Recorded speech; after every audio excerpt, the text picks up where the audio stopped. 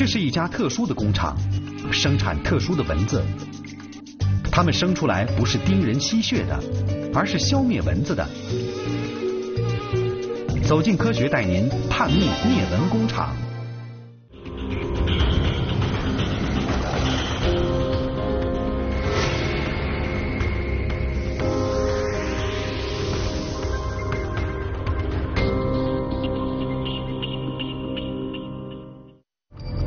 个头不大，却叮人，吸血，引起人们身体的不适。它还传播多种疾病。没错，它就是蚊子。全世界对人伤害致命最多的动物是蚊子，每年杀人最多的动物是蚊子。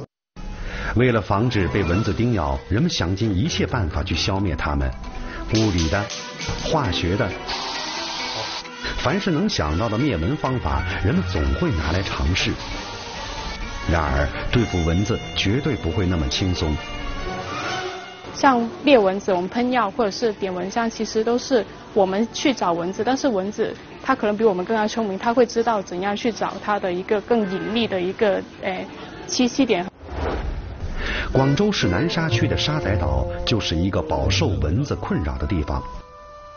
老梁家的蚊灾尤其严重，蚊子在他干活的时候出现，在孩子写作业的时候出现，在睡觉的时候更是猖獗。有时候就睡觉的时候有有咬，就是沙奔状，不沙奔状咬可能咬到了。老梁分析，这跟沙仔岛的地理位置有关。沙仔岛在广东省广州市的南沙区，面积不大，只有三平方千米。但却有着长达十千米的水岸线，就是这么一个人口相对集中、环境比较封闭的地方，大家每年还是为如何消灭蚊子而犯愁。老梁家对付蚊子的方法就是喷药和点蚊香，肯定有不好处了，有的味道。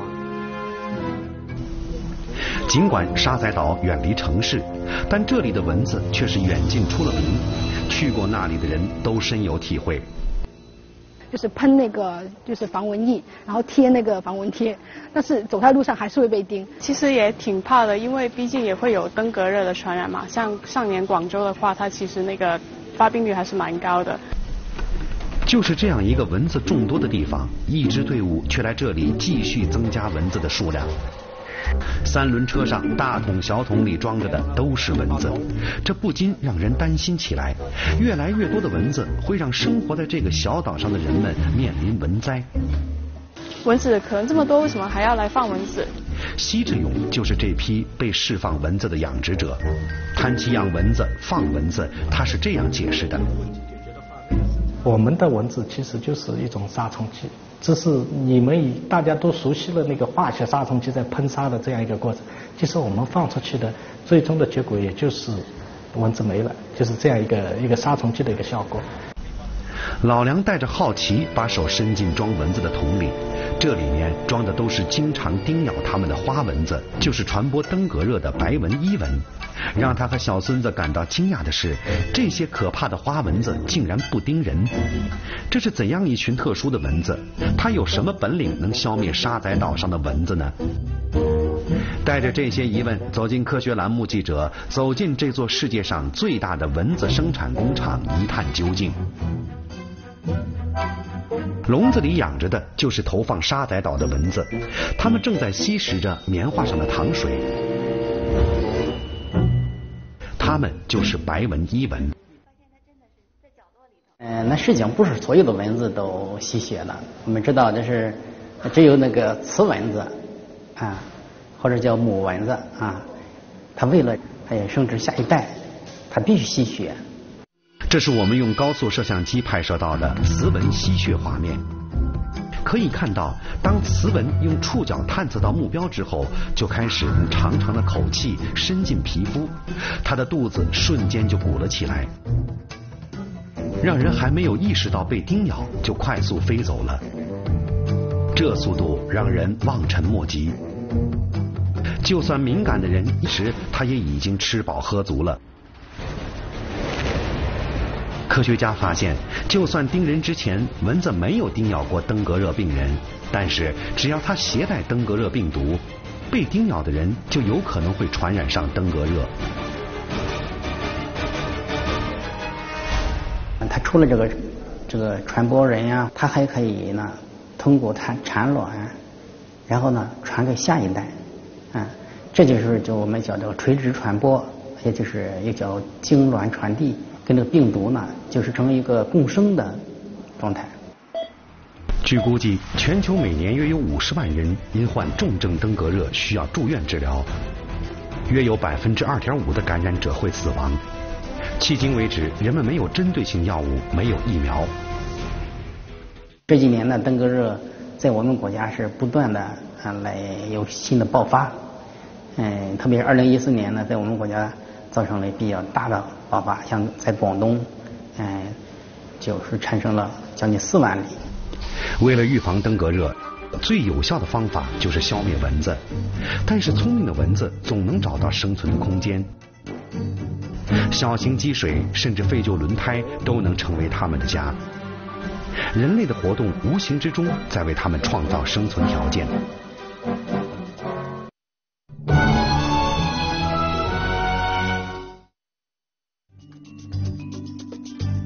分工明确的流水线，科学严谨的制造方式，这些蚊子是被生产出来的特殊种群。灭蚊大战在即，请继续收看《探秘灭蚊工厂》。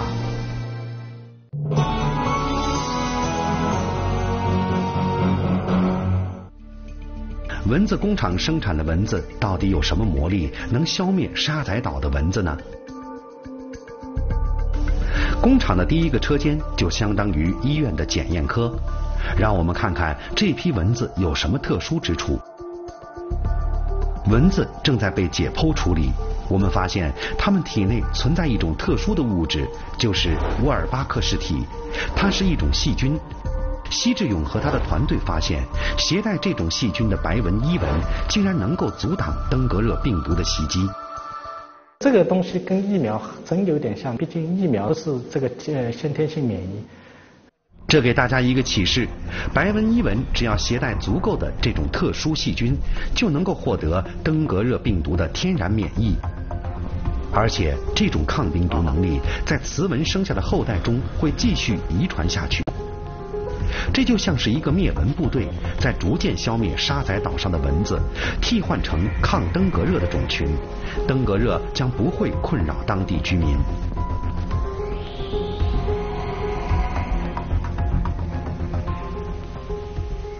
你要形成这个种群替换，你可以像别人有些国家这么做的，他他也不做压制，他直接放。把你当地的那个居民的蚊子增加百分之五十，而且是雌蚊，这个我不太喜欢这样的一个测验，因为这个你会把这个技术搞得人家反对，很早的把我这个技术给扼杀掉。一般而言，雄蚊子有一对刷状的触角，它的口气有很多分叉，只能让它成为素食主义者，吸食植物汁液。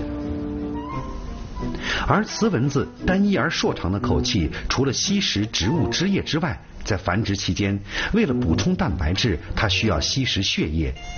投放雌蚊可以快速更换当地蚊子种类，但是会引起当地人的反感，因为抗登革热病毒的雌蚊还是会叮人吸血。然而，投放雄蚊不仅不叮人，却可以起到意想不到的效果。人们发现，抗登革热病毒的雄蚊与自然界中雌蚊交配后，竟然不会再孵出后代。有人戏谑地把它称为“绝育蚊子”。这也正是老梁把手伸进蚊蚊产下没有孵化能力的卵。不使用杀虫剂就能让沙仔岛的蚊子数量下降，这是理想的灭蚊方法。这将是一支特殊的灭蚊部队。怎样造出第一支携带特殊细菌的种蚊，才是生产蚊子的第一步。主要是因为那个卵比较小，然后那个针头的话，而且需要就是特别制作，所以呃那个有时候注射的话，很容易会把卵损伤，所以它的难度比较大。显微镜玻片上有一串串密密麻麻的小黑点，这是蚊子的卵。因为是微距拍摄，你不能想象这卵有多小。工作人员告诉我们，二十万个卵的质量才有一克。这是一根石英针，呃，直径是一毫米，它的针尖是比头发丝还细，呃，但是它是实心的，我需要一台在一台以上才能把它呃打通，用来做注射。磨针是个精细活，要把直径一毫米的圆石英针磨出通气的针尖儿，让它不伤害卵就能工作，是需要相当多的经验的。这看起来只有小小的一撮，却有五十只蚊卵。梁永康要用这根长而尖的注射针管，把特殊细菌组装到蚊子的卵内。这个弄好每一次注射只能一个卵，为了方便注射，梁永康用细毛笔把蚊卵排列整齐。这一切需要在显微镜下操作。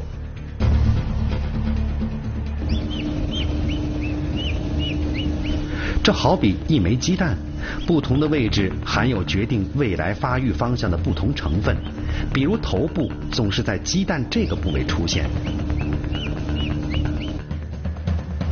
而要在蚊子胚胎发育早期，在特殊时间点，精确地把特殊细菌注射到未来发育成生殖器的特殊部位，这是一个技术活。梁永康也因此成为这个团队中掌握核心技术的工程师。不是每一次注射都有成效。建立共生并非简单的让细菌感染另一个生物体，它需要的是两个生物形成稳定的共生关系。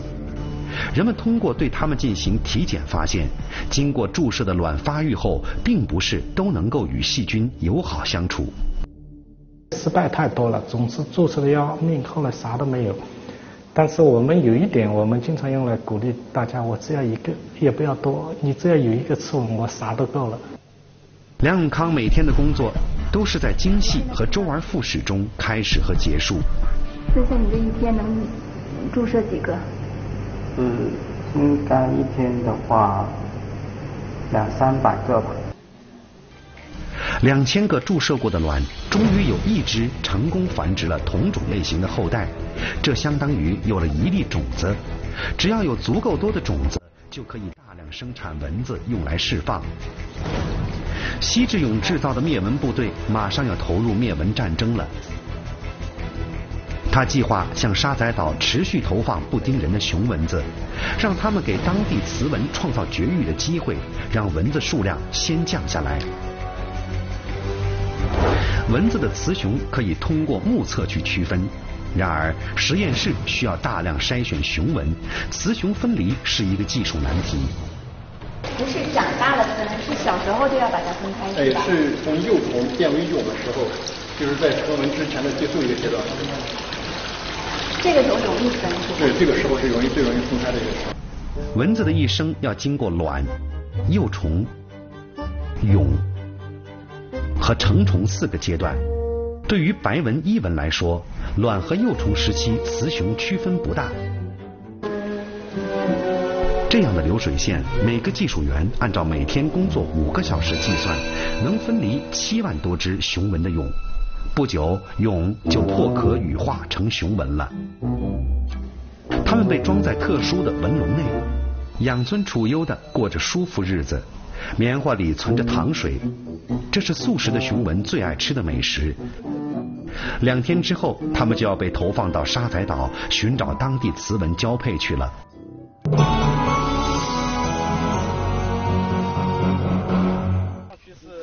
钱伟是野外投放的总负责人，选择什么样的投放点是他决定的。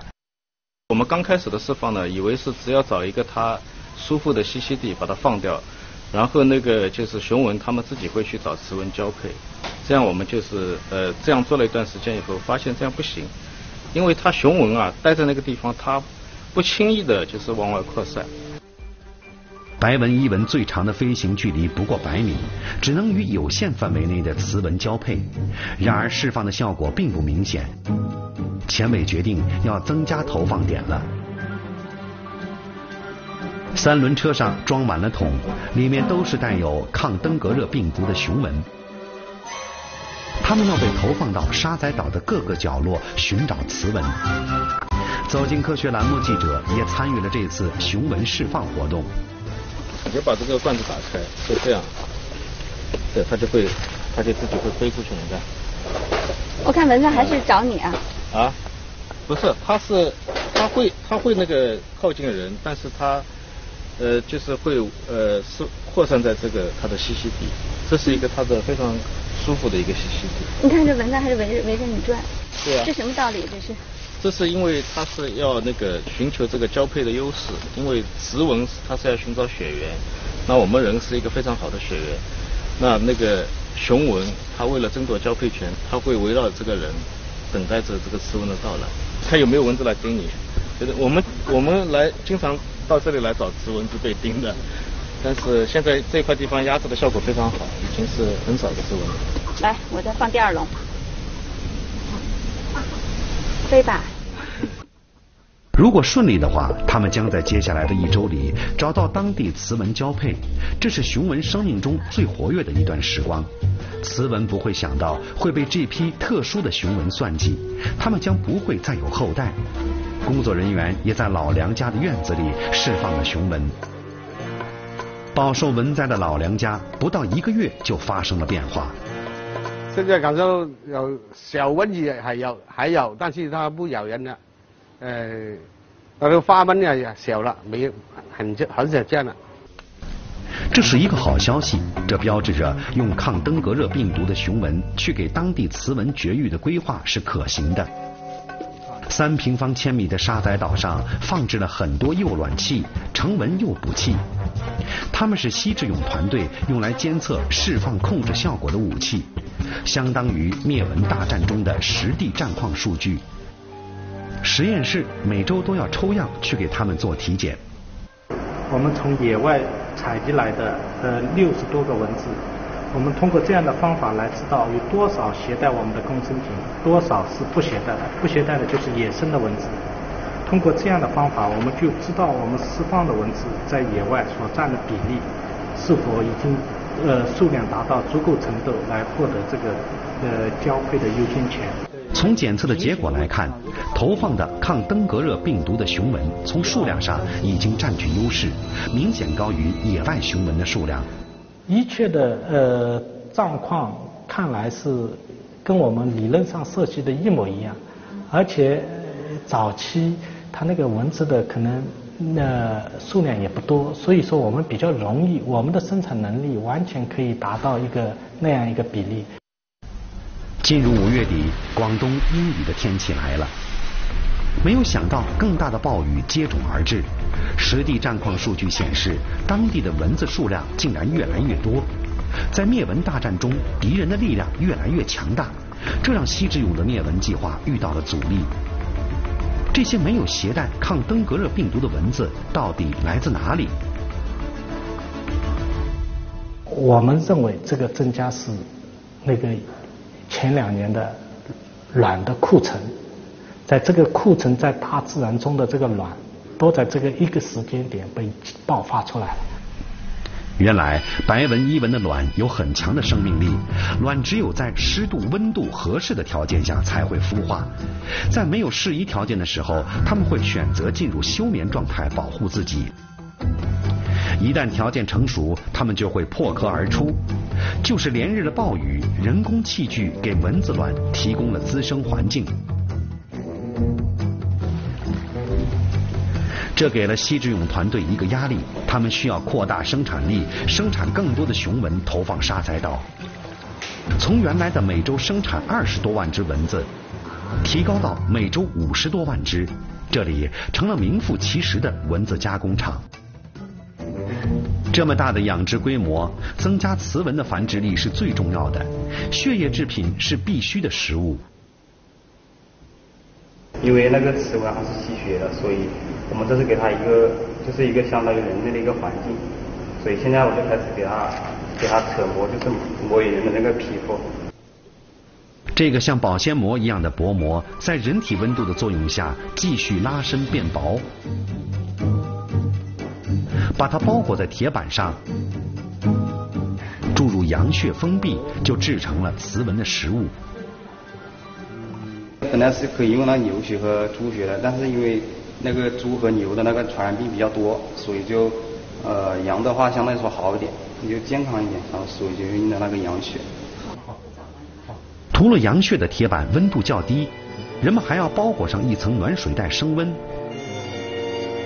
血板放到了纹笼上，就算隔着蚊帐，雌蚊敏锐的嗅觉也能立刻发现食物。它们开始行动了。雌蚊每次产卵的前提是吸一次血，这是世界上最大的蚊子生产工厂，每笼有雌蚊三千只，雄蚊一千只，这是最好的搭配。可以看到，雄蚊和雌蚊已经愉快的交配了。理想条件下，一只雌蚊吸一次血可产上百个卵。在实验室里，一般吸血三次，一只雌蚊可以产生近三百个卵。这样的翼龙蚊子可以产大概五万只卵。前方战报显示，目前沙仔岛局部的压制效果已经超过百分之九十，放飞的雄蚊已经在战斗中占据了主动。然而，西志勇的计划却要发生改变了。下一步，他要释放带有抗登革热病毒的雌蚊。我们的目的就是让蚊子和人两种生物能和平共处。我们是希望把它控制住，不让它来危害人，把它对人危害这一步去除。没有消灭一个物种，永远不是我们的目标，而且从某种角度上也是不科学的，呃，一个可能也没必要的。钉子型。按照投放抗登革热的雌蚊计划，沙仔岛上的蚊子将会被彻底改良。原来传播登革热的蚊子将被抗登革热病毒的蚊子取代。要投放雌蚊，以蚊灭蚊计划的支持者老梁开始有了担心。释放的蚊子虽然不会再传播登革热，但是它的体内毕竟存在着细菌。人被雌蚊叮咬后，会不会又出现别的问题？沃尔巴克斯体从某种角度上来讲的话，呃，在某些昆虫里面，它可以使得昆虫更健康。估计是大概百分之六十五的昆虫都天然携带的沃尔巴克斯体，对人都没有问题，而且好多都是益虫，它也携带着沃尔巴克斯，像蜜蜂啊。蚊子与蚊子的战斗，胜负已不再重要。如果沙仔岛以蚊治蚊的科研项目成功，接下来科研小组要在更多饱受登革热疾病困扰的地方去推行。灭蚊不是目的，让蚊子不再传播疾病，与人类和平共处，自然界物种平衡，才是良好生态环境的保障。